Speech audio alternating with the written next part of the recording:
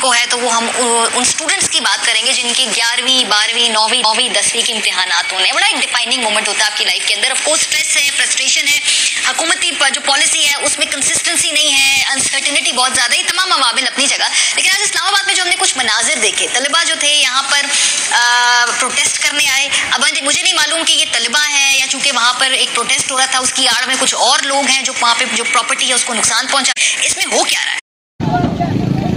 ये एक मुश्तिल हजूम है, इन्होंने गाड़ी वाले को पकड़ लिया जो एहतजाज कर रहा था इनके साथ के, जाने दो मुझे आगे। और, ये एक्सक्लूसिव ये, इससे बढ़ के कुछ आपको एक्सक्लूसिव नहीं मिल सकता पाकिस्तान। फ्यूचर है इनको इस तरह मारना पीटना इन पे हमला करना, रियासत को बेहतर तरीके से इनसे डील करना चाहिए। लेकिन इस तरह से पब्लिक प्रॉपर्टी को नुकसान पहुंचाना भी कहाँ समझदारी है। आप अपना केस इतना वीक क्यों कर रहे हैं?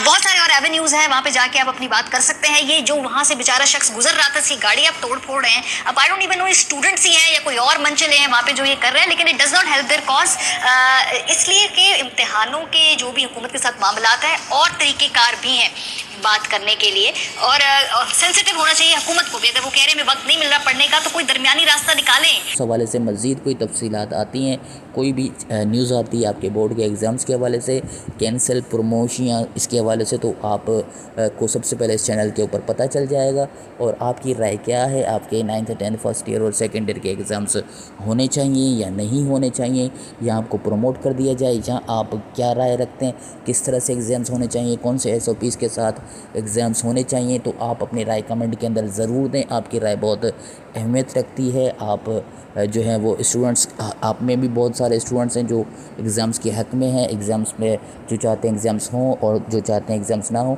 तो आप सब अपनी जो है वो राय दें मेजोरिटी की राय जो है वो मानी जाती है तो इस हवाले से आप अपनी राय ज़रूर दें। इसके अलावा अगर वीडियो अच्छी लगी तो आप लाइक कर सकते हैं कमेंट कर सकते हैं, इस वीडियो को शेयर करें ताकि दूसरे स्टूडेंट्स को भी इसके बारे में पता चल सके। यहाँ पर फॉलो ज़रूर करेंगे फेसबुक का पेज यहाँ पर इमेज भी देख लें और यूज़र नेम भी देख लें, यहाँ पर आपको पल पल की अपडेट मिलेगी। इसके अलावा वेबसाइट भी है हमारी, यहाँ पर ए आर के उस्ताद डॉट कॉम इस पर भी आपको अपडेट्स इसकी मिल जाएँगी। आज के लिए इतना ही, मिलते हैं आपसे नेक्स्ट वीडियो के अंदर। अल्लाह हाफ़ दोस्तों, पाकिस्तान।